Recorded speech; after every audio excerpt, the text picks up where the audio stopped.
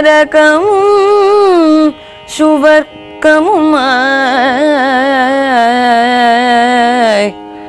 வேப்பகையும் நட்பும் விடமும் அமுதமுமாய் பல்வகையும் பரந்த பெருமான். என்னை ஆழ்வானே செல்வம் மல்க குடி திருவில் நகர் கண்டேனே. ஆழ்வார் திருவடிகளே சரணம். mm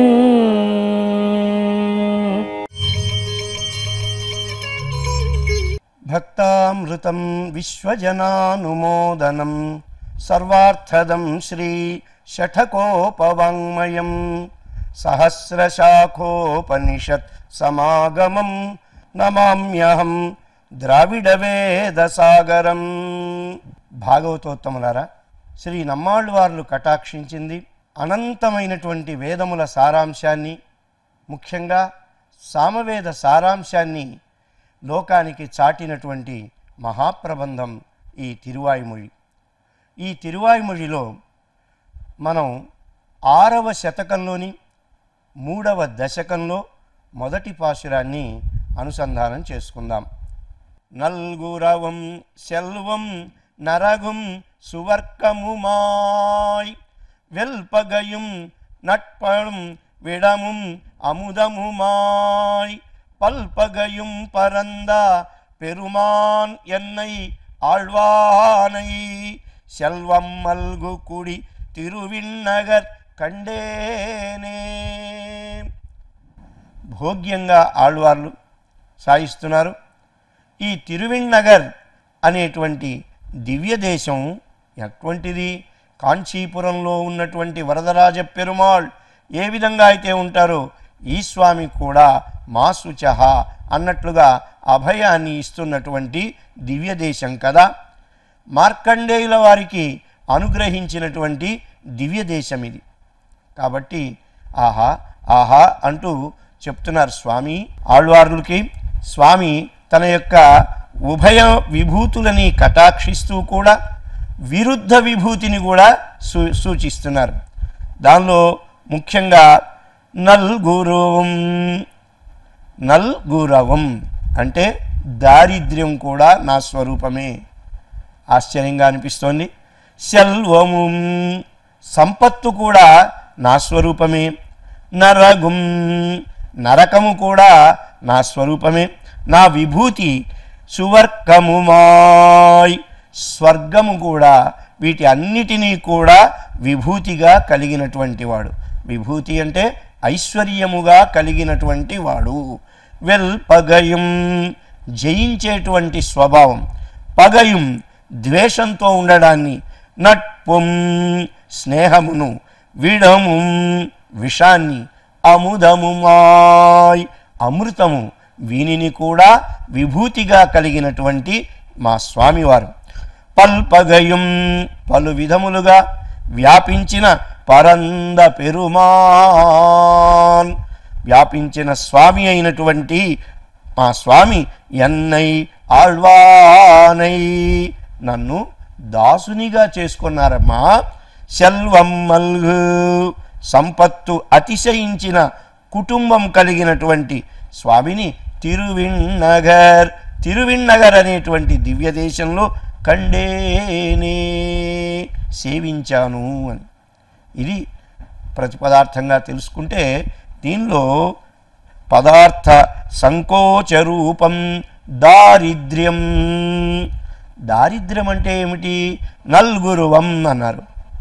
దారిద్ర్యం అంటే పదార్థ సంకోచం. ఏ పదార్థమైతే అతి తక్కువగా ఉంటుందో దాన్ని ఏమంటున్నారు? పెద్దలు దారిద్ర్యం అని అంటున్నారు. ఇప్పుడు జ్ఞానం తక్కువగా ఉందనుకోండి దాన్ని ఏమంటారు? జ్ఞాన దారిద్ర్యం అంటారు. ధనం తక్కువగా ఉంటే ధన దారిద్ర్యం వస్త్రాలు తక్కువగా ఉన్నాయి వస్త్ర దారిద్ర్యం అలాగనే ఐశ్వర్యం తక్కువగా ఉంది ఐశ్వర్య దారిద్ర్యం. ఇలా చెప్పుకుంటూ పోతే కొందరికి భావం కూడా దారిద్ర్యంగా ఉంటుంది. దాన్ని ఏమన్నారు? భావ దారిద్ర్యము అని కూడా అన్నారు. ఈ దారిద్ర్యము కూడా పరమాత్మ యొక్క విభూతి స్వరూపమేట. ఆశ్చర్యం సంపత్తు సంపత్తు కూడా స్వామి యొక్క స్వరూపమే విభూతియే. ప్రతిదీ ఈ సృష్టిలో కానిది ఏది ఉంది గనక పరమాత్మను విడిచి ఏదీ లేదు. అలానే రుచులు కూడా ఉప్పు ఆయన స్వరూపమే కారము ఆయన స్వరూపమే తీపి ఆయన స్వరూపమే. అయితే తీపి తినేవారికి ఉప్పులు చూస్తే మరొక రకంగా అనిపిస్తుంది. ఏమిటి వాడు ఉప్పు తింటున్నారు అని. ఉప్పు ఇష్టమైన వాటి వాడికి తీపు వెగటగా అనిపిస్తుంది. కానీ ఇవన్నీ కూడా పరమాత్మ యొక్క విరుద్ధమైనటువంటి విభూతులు. దారిద్ర్యం కూడా మరి దారిద్ర్యంతో ఉన్నటువంటి కుచేలుడికి ఎటువంటి పరమాత్మ యొక్క కృపా కటాక్షాలు కలిగాయి. ఆ దారిద్ర్యం కూడా పరమాత్మ యొక్క విభూతి అంటే ఏమిటో చూపించారు. చిన్నతనంలో కలిసి మెలిసి ఆడుకున్నటువంటి కుచేల శ్రీకృష్ణ పరమాత్మలు తరువాత కాలంలో ఆయన దారిద్ర్యంలో ఉన్నాడు. దారిద్ర్యము కూడా పరమాత్మ యొక్క పరమానుగ్రహానికి నేను ఎవరినైతే అనుగ్రహిస్తానో వారికి దారిద్ర్యాన్ని కూడా కటాక్షిస్తా అంటారు స్వామి ఆ దారిద్ర్యము కూడా స్వామి యొక్క విభూతి. పదార్థ సంకోచ రూప దారిద్ర్యము అని వ్యాఖ్యాతలు చెప్తున్నారు. పదార్థాన్ని సంకోచంగా ఉండడము చాలా తక్కువగా డబ్బు మన దగ్గర ద చాలా తక్కువగా ఉంటే ఏమవుతుంది? దరిద్రం వచ్చినట్లే. అష్ట దరిద్రాలు ఒకటా రెండా మూడా? ఇవన్నీ కూడా ఆ స్వామి యొక్క విచిత్రమైనటువంటి పరిస్థితులు. సెల్వం ఇక సంపద. ఎంత సంపద అండి జ్ఞాన సంపద కావచ్చు అదేవిధంగా విద్యా సంపద కావచ్చు ధన సంపద కావచ్చు పుత్ర సంపద ఒక్కటేమిటి? సమస్త సంపదలకు కూడా విభూతి శ్రీమన్నారాయణుడే. సంపద కావాలన్నా ఆయన్నే పట్టుకోవాలండి. అటువంటి సంపద కలిగినటువంటి స్వామి తద్వికాసమాన సంపత్తు తద్వికాసమాన. అంటే దారిద్ర్యం కాస్త తగ్గిపోతే గనక ఏది చక్కగా రోజు రోజుకి కూడా సంపద పెంపొందించేట్లు చేస్తారు. బావిలో నీరు ఏ విధంగా అయితే ఊరుతుందో ఆ విధంగా సంపదలు తెలియకుండా నిన్ను ఆవహిస్తాయి. ఎట్లా మనకి పెద్దలు చెప్తూ ఉంటారు ఆ సంపద కూడా ఎలా వచ్చిందో కూడా మనం కనిపెట్టలేముట. నారికేళ సలిలము బంగిన్ నారికేళంలో కొబ్బరికాయలోకి నీళ్ళు ఎలా వస్తాయండి? అంత పీచు అడ్డుగా ఉంది పైన చూస్తేనేమో ఎండిపోయిన పీచు ఉంటుంది దానిపైన డెప్ప ఉంటుంది. దాని లోపల నీళ్ళు ఎలా దాగి ఉన్నాయి? ఎవరు చెప్పగలం? సృష్టి విశేషం. ఆ విధంగానే మనం ఊహించలేము ఒక్కొక్కరిని. వారు ప్ర- మొదటి దశలో చాలా దరిద్రంగా ఉంటారు.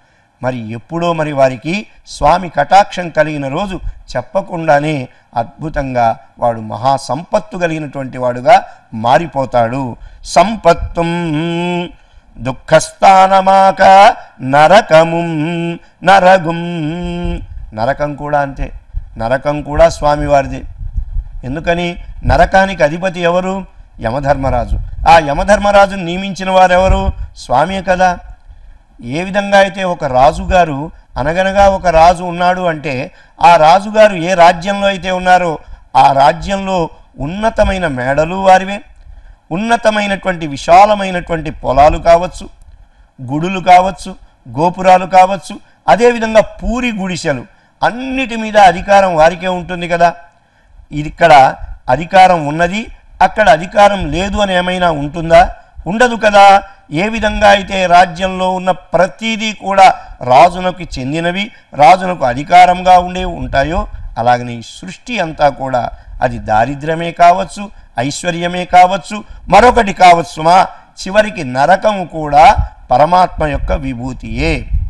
ఎందుకని? పరమాత్మ సృష్టించినటువంటివే ఇవన్నీ కదా. కులశేఖరాలు వారు అందుకనే భయపడకుండా చెప్పారు. దివి వా భువి వా మమస్తు వాస నరకే నరకాంతక ప్రకామం ఓ స్వామి నువ్వు నన్ను స్వర్గంలో ఉంచినా పర్వాలేదు లేదా ఈ భూలోకంలో ఉంచినా పర్వాలేదు. కాదు కాదు సుమా నరకంలో పారవేసినా పర్వాలేదు. కానీ నీ చరణామృతాన్ని నీ చరణారవింద స్మరణ అనేటువంటిది మాత్రం మరచిపోకుండా ఉండేటట్లు చెయ్యి. ఎందుకంటే ఆ నీ నిజమైనటువంటి సంపద ఏదైతే ఉందో నీ నామస్మరణ అది ఉంటే ఇవన్నీ అవంతట అవే ప్రాప్తిస్తూ ఉంటాయి. అవి లేని నాడు అన్నీ కూడా పట్టి పీడిస్తూ ఉంటాయి కదా. సువర్గముమాయ్ స్వర్గము కూడా విభూతిగా కలిగినటువంటి స్వామి. చూడండి విరుద్ధ విభూతి అనే దాన్ని ఆళ్వార్లు చెప్తున్నారు. కేవలం ఇక్కడే కాదు అక్కడే కాదు మరొకటి కాదు. ఎక్కడ ఉన్నా నీ ఐశ్వర్యమే. సాధారణంగా మన వెంకటేశ్వర స్వామి వారి దగ్గరికి సేవ చేయడానికి వస్తూ ఉంటారు. కొందరు అనుకుంటారు స్వామివారి ముందు మాత్రమే నిలబడి సేవ చేస్తే అదే గొప్ప అనుకుంటారు. కాదు సుమా గుడిలోనూ ఆయన సేవే. గుడి బయట ఆయన సేవే. అలా కాదు ఎక్కడో చెప్పుల మండపం దగ్గర ఒకవేళ సేవ మనకు లభించినా అది కూడా ఆయన సేవయే. ప్రసాదాల దగ్గర ఆయన సేవే. ఎక్కడ ఉన్న ఆయన సేవే అని భావించడం అనేటువంటిది మహోన్నతమైనటువంటి బుద్ధి కదా? అప్పుడు వారికి నిజంగా పరమాత్మ యొక్క విభూతి అంటే ఏమిటో అర్థమవుతుంది. అలానే వెల్పగయుం జయం. జయం ఈ జయం అనేటువంటిది నా యొక్క విభూతే. ఎవరైతే జయిస్తున్నారు లోకంలో రకరకాల పోటీలలో రకరకాల వాదనలో వాళ్ళందరూ వాళ్ళు కాదు చేసేది. వారి వెనక జయముగా ఉండేది నేనే. శ్రీరామ జయం జయం. జయం ఇవ్వాలన్నా నేను ఇవ్వాల్సిందే. జయమే నా యొక్క విభూతి. అంతేకాదు పగయుం ద్వేషం. ద్వేషం కూడా నా యొక్క స్వరూపమే. కొన్నాళ్ళకు కొన్ని వస్తువుల మీద మనకి ద్వేషం కలుగుతుంది.